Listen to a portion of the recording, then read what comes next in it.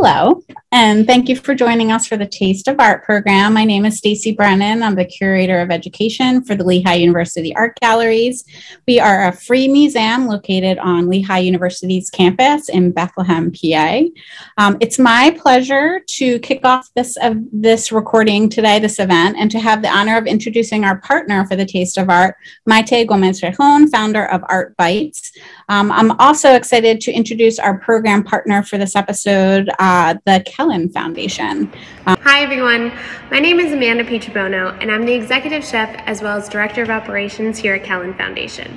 We're a 501c3 nonprofit dedicated to making the healthy choice the easy choice throughout the Lehigh Valley.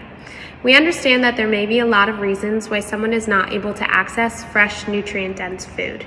Some of the obstacles may include time constraints, cost, availability, as well as accessibility if they live too far from a grocery store. We plan to address all of these obstacles through our Eat Real Food mobile market, as well as our plant forward lifestyle medicine meals that we make daily here at Kellyn Kitchens.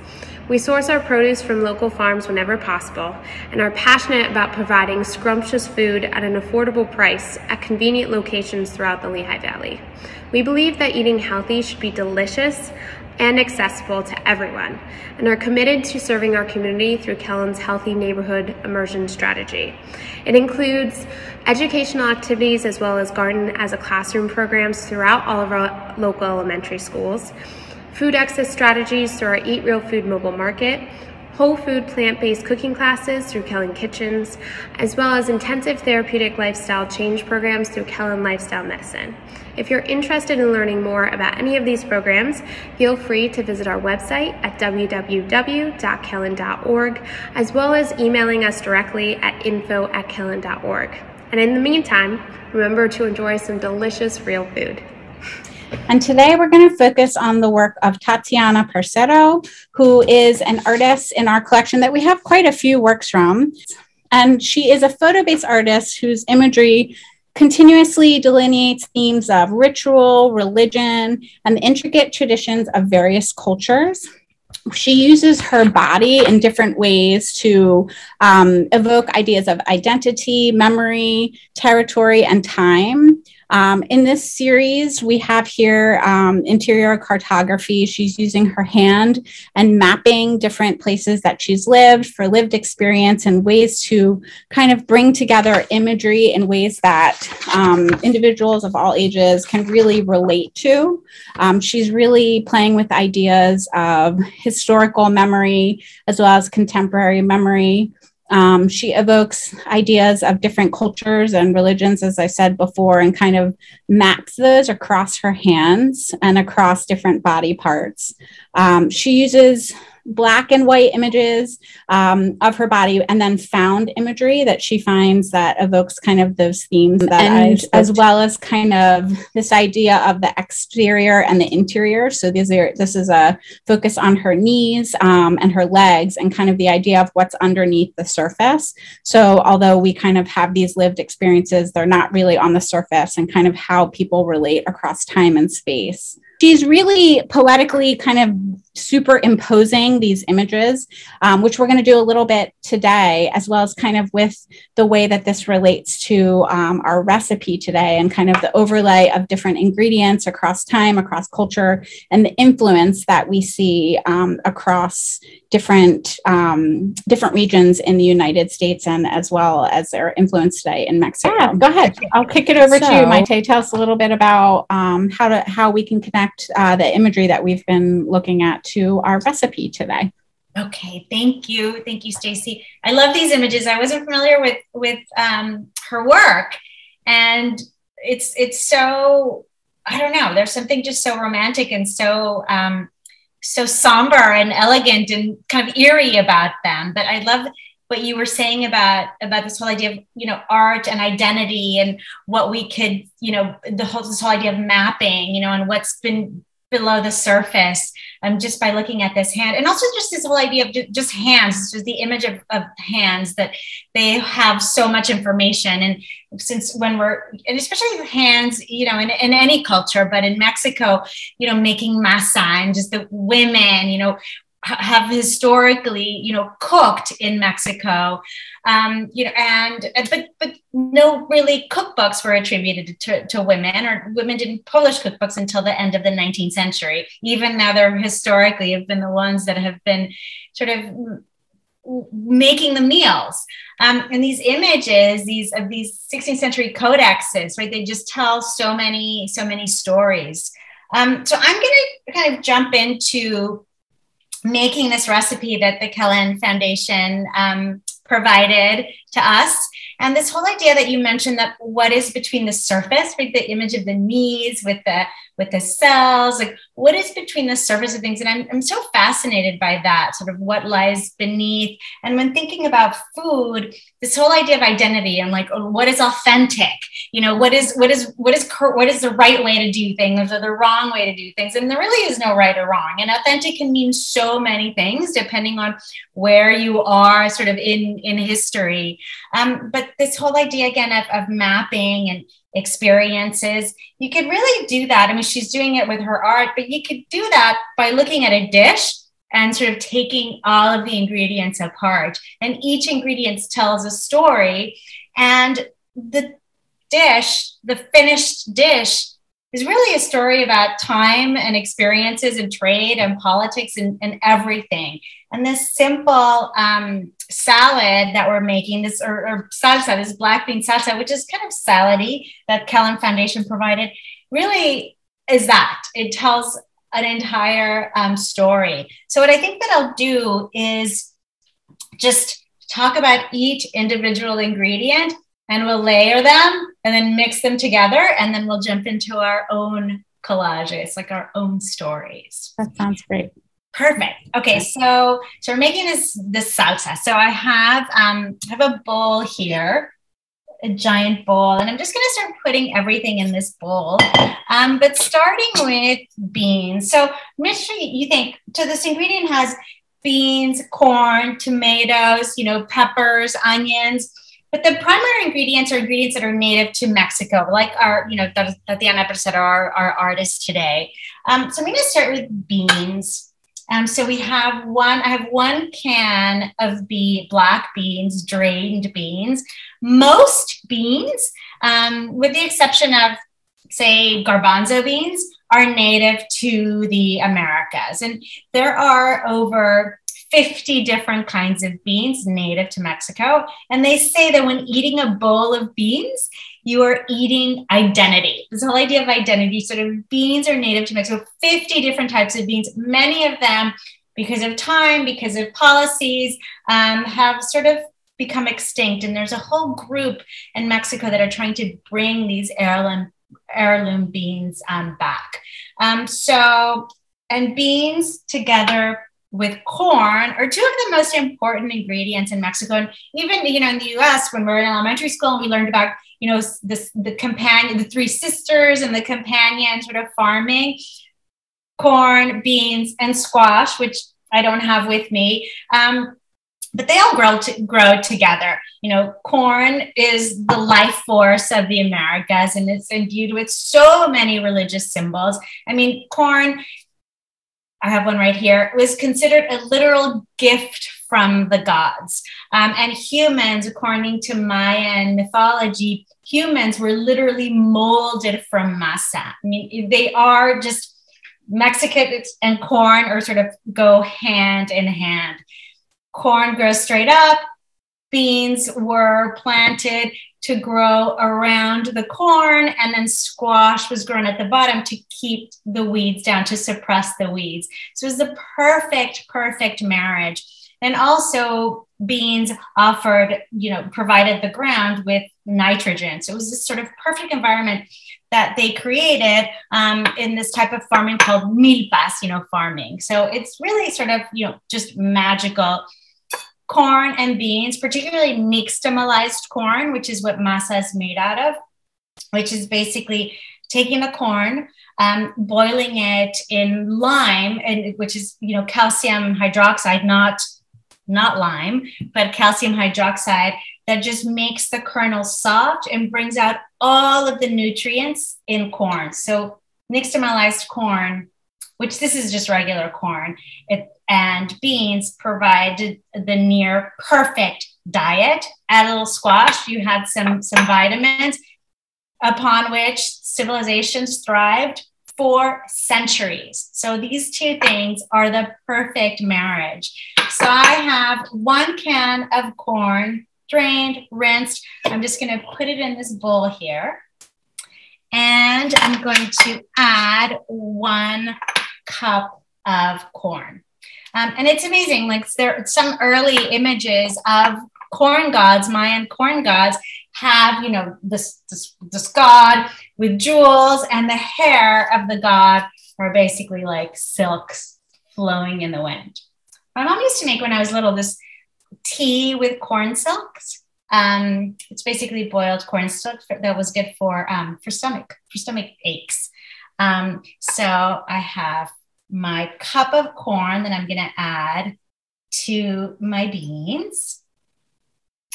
And then I'm going to add a cup of diced tomatoes, also native to Mexico. Um, the word tomato comes from the Nahuatl, which is the Aztec language word um, tomatl, which literally translates to something round and plump. Lots of different tomatoes, from tiny cherry tomatoes big, you know, tomatoes, um, tomatillos, which are the little green ones that have this, you know, husk around them. Um, but this is, you know, they used to make, you know, basically do something similar to what we're doing today, uh, make sauces with chile. Um, but this is one of the ingredients that have really changed the world. I mean, it's impossible to think of Italian food without tomatoes. Um, but it's one of the ingredients. Then, when Mexico was conquered in 1519, it's one of the ingredients that made all of these ingredients made their way to Europe. Um, but people didn't really eat it for, for many, many, many years. Um, they were just thought it was, you know, poisonous. Um, it, the Catholic Church was just like, I don't know about this. It's in the nightshade family. Maybe it's dangerous. Um, so the earliest printed recipe that we see for tomato um, in Italy is from 1692, um, a recipe by a cookbook, the modern cook by um, a cookbook author named Antonio Latini, and it's basically basically a pico de gallo. It's basically it's it's nothing like an Italian sauce. It's basically tomato, onion, basically, and it's called uh, tomato Spanish style. So not Mexican style, Spanish style. So at that point, it's like who knows where things are from, but it's basically a pico de gallo. Um, so I'm going to add one tomato. It's it's these are I use two plum tomatoes, which is basically one cup of tomatoes, or you could use one one big tomato. But I have two plum tomatoes. Whoops, gotta add all of that in there. And now I'm going to add one cup of bell pepper, um, and also half a diced jalapeno. So spicy, this is kind of a sweet pepper. All peppers are native to Mexico, um, sweet, uh, spicy, and th- they come from, or in Spanish, it's chile, which is the, the Nahuatl word was chili, C H I L L I, which is basically Chile. But they were called pepper because when Columbus landed in the Americas, 1492, he was actually looking for pepper, Indian, you know, from India, peppercorns. Um, and so they basically attributed anything that was kind of hot, sponge, pungent, a little bit spicy. They just called it a pepper, even though two completely different, you know, families. Um, but pepper or chiles were used, you know, as a as a seasoning, um, and also it was used as sort of I guess you could call it like chemical warfare. Um, during war, chiles would be burnt. If you've ever sort of toasted a chile, it makes you cough and makes you cry um, to sort of smoke out their opponents. Um, and sometimes, even when children would do something that their mom or their dad wasn't too happy with, children would be sat in front of burning chiles just to reprimand them which is sounds horrible, but these were things that were done. So I'm going to add about a cup, which is a little, this was a, a very small uh, pepper.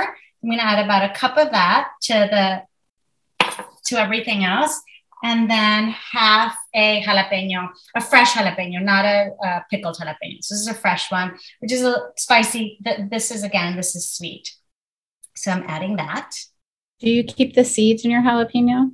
Or do you I did not keep the seeds. I was following the the recipe Kellyn's Foundation very dutifully, but no, I did not keep them. Um, but sometimes I do when I make my own stuff. The, the the seeds are what gives it makes it really really spicy. But I just kept it just um, I, I seeded them so just to keep it all you know not too spicy and only half of it. Also because my husband just doesn't really like spicy food, so just to just to make sure it's okay.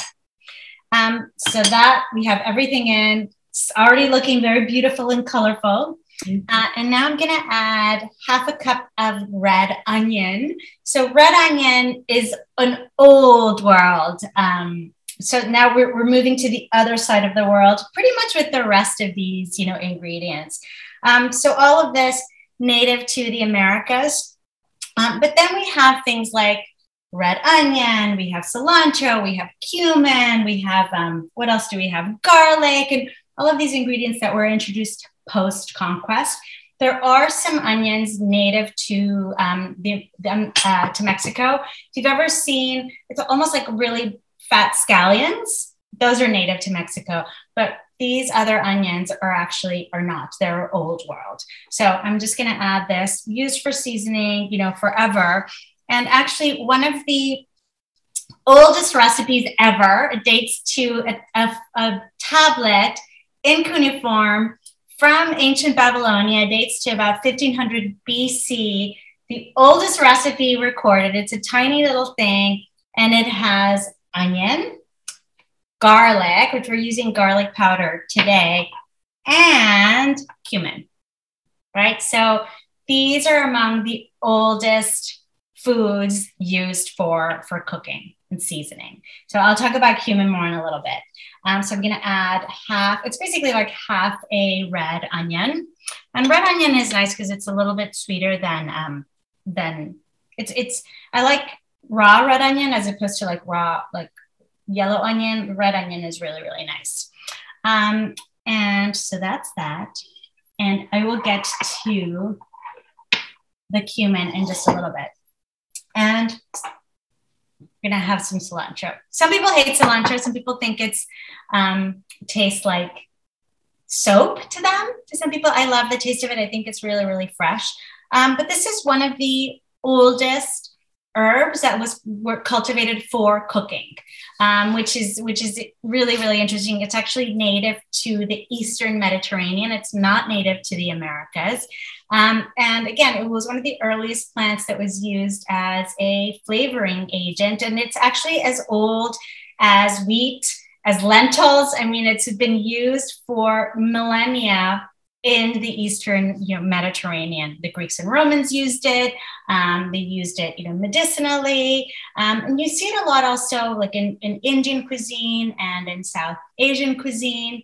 Um, it's one of the ingredients that was introduced into Mexico in the 16th century and really just embraced.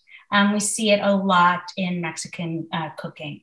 So I'm going to add about two tablespoons of cilantro. I'm just going to chop this up. I didn't want to chop this one before because I didn't want it to get really brown.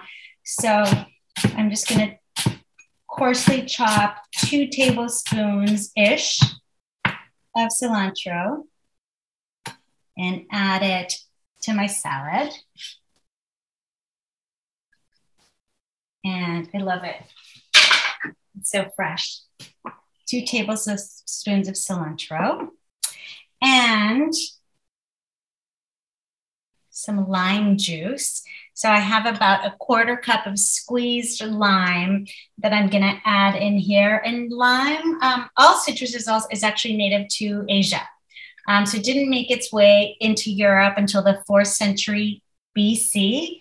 Um, Alexander the Great's commanders, when they had made their way to, um, to India, they brought it back and started planting it um, in the Mediterranean. But it actually, and the Romans, the ancient Romans, were the first to use it in cooking. So we actually see, you know, recipes. The earliest Western recipe dates to around 400 attributed to a man named Apicius. And we see people cooking with, with lemon. Um, so we start seeing it used as a flavoring agent, also used in perfumery. With the fall of Rome, the Arabs spread it, you know, from Persia to Sicily to North Africa to Spain, and then of course from Spain, it made its way to the Americas post conquest. Um, so this is when we we introduced it, and within something like 20 years, it was growing, you know, abundantly. And it's one of those ingredients. It's hard to imagine Mexican food without lime juice, um, but also native to Asia. Another layer in the in the story. So now that that is in there, I'm just going to mix it to see all of these gorgeous colors. And then we're going to add just the rest of the of the seasonings. Um, I'm going to add some garlic powder. It is one teaspoon of garlic powder, again, with um, cumin and onion in the world's oldest recipe, adding an eighth of a teaspoon of cayenne pepper, which gives it another little, another little kick. Half a teaspoon of salt. And this is definitely something that grows or not grows, but can be cultivated really in Mexico, basically anywhere. Um, and then we're using cumin. So one teaspoon of cumin.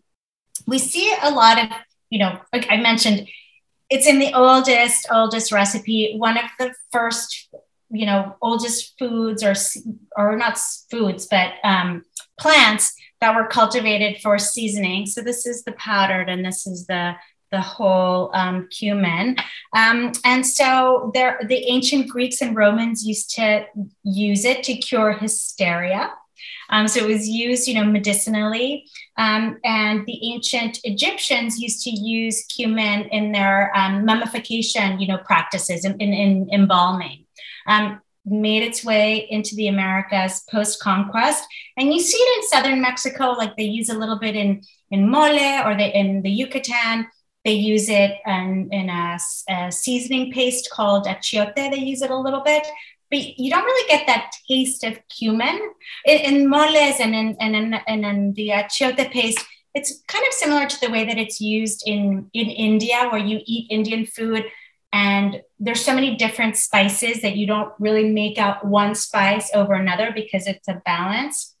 But you see a lot of cumin, like heavy cumin flavor in northern Mexico and in like Tex-Mex cuisine or Cal-Mex cuisine. And this is because post, you know, conquest, actually in the 17th, in the 1700s, early 1800s, when northern Mexico was really started to be inhabited, you know, more so. Wheat was growing up, which is why we see the flour tortillas as opposed to corn. Um, but a lot of the people that were moving to the north were North Africans, were, were Berbers from North Africa that had been, you know, had made their way to Mexico. And they were used to cumin in their food. So they brought cumin up north. And this is why we see it a lot in northern Mexico and a lot of Tex Mex cuisine. The rice has cumin like everything is so cuminy and a lot of you know mexican food in the states as well. Um, it's basically because of because of this. So i remember growing up my mother's from mexico city my dad from the yucatan and then we would go to a restaurant i grew up in texas we'd go to a restaurant and they would get a whiff of cumin and they were like oh this is not authentic. This is not real mexican food. I was like well what does that mean authentic? Everything. I mean you could say this is 100% authentic because it has everything or you could say you know the opposite. It's like it just depends on how you look at it. So i'm going to add a teaspoon of cumin to my salad and mix it up and look at this gorgeous how beautiful is this let me just mix it really well and this is an explosion of beauty what a perfect summer. I mean, this is a salad. You could use it with chips, you know, add, I don't know, maybe add a little avocado, just scoop it up with chips, or just use it as a salad. I mean, I might do that right now. Just ta- I want to taste it. Um, but I love this idea of deconstructing, taking a dish apart and the stories that it tells, um, the trade routes that you could follow, the histories that you could tell. I mean, who knew, right? Cilantro had was was you know, and cumin was among the earliest recipes. I need to buy some chips. Hmm.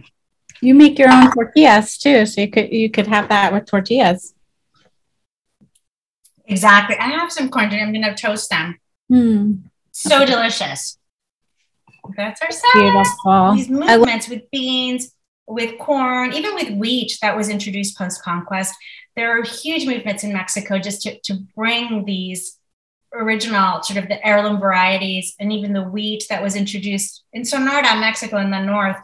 There's these whole movements to bring these original plants that were first, you know, grains that were first planted, just to sort of bring them back. So this this I, I just this this consciousness of you know the land and what it gives us and what it says about us and just like a little grain of wheat or a little grain of rice and how that was brought over right like the stories that are told um so yeah they teach us yeah so much. Art and food teaches so much. art, art and food absolutely the perfect combination. Um, and with that we should make our own art. And i think um, the influence that it has on our our own selves um, Today, we're going to be doing a little bit of uh, collage, um, which we will be including some of the supplies in our kits. Um, and really, just with simple supplies, um, we just need paper, uh, like a small piece of white paper um, if we want to start with five by seven or eight by 10 um, some a variety of tissue paper colors. I have kind of the rainbow here, depending on what your color preferences are. I see, Maite, you have um, some beautiful um, uh, tools for mark making there. So some some uh, markers and pens um, are perfect.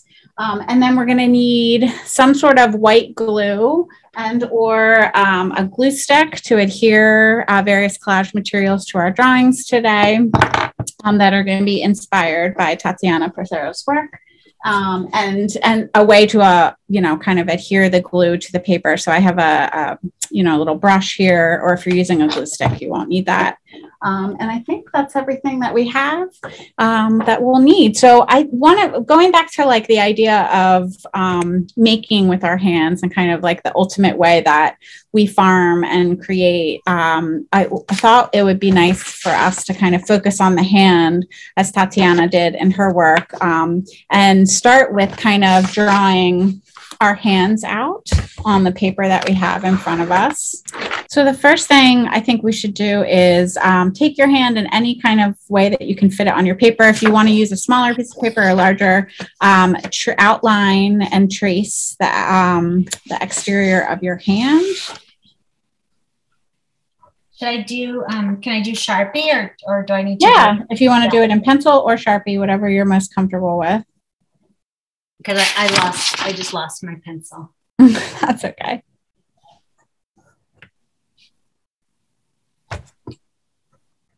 Okay, I just did like a general outline of my hand. Um, I see you're doing that there. And then I'm going to add some um, details into my hand, kind of where my fingers are separated, um, where my nail beds are and where they come together. It does not have to be exact. Um, Tatiana does use images of her own body, um, and then she superimposes um, either found imagery or imagery from historical texts that she references in her work.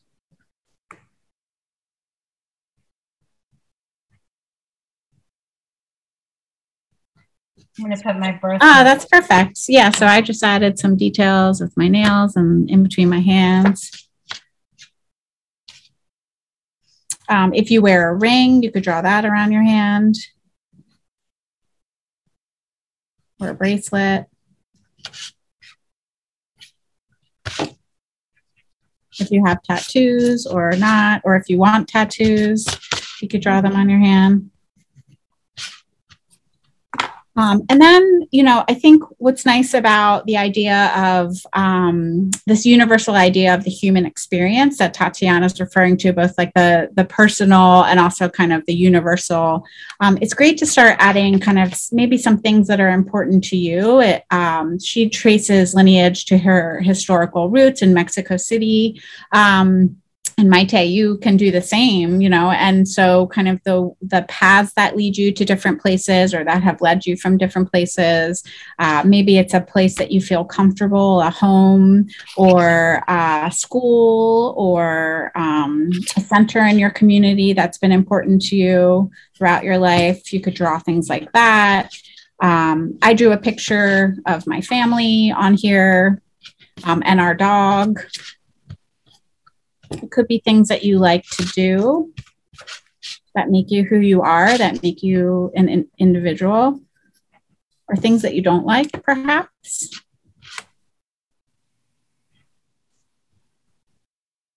Um, and similar to what Tatiana does, um, we will start with the black and white imagery, and then we'll start to layer some color on, similar to our ingredients in this recipe and how layered ingredients make for a fuller recipe or picture. But you know, you can make it as detailed as you want. It doesn't have to be perfect. It can be abstract too. Like if there are things or elements that you want to just use simple shapes and lines. I, I think Maite, you're doing a great job of including kind of some some shapes that are universal. I have um, my house has round windows. Oh, I love that. So this is so relaxing. I have my family so far. I have my dog, little house. That's beautiful. it's beautiful. And then when you're ready, um, you can either cut or tear tissue paper, which I think is great. Um, so easy to work with. It doesn't have to be exact. Tearing is fun, I think, and relaxing. Um, you can start adding some color into your work.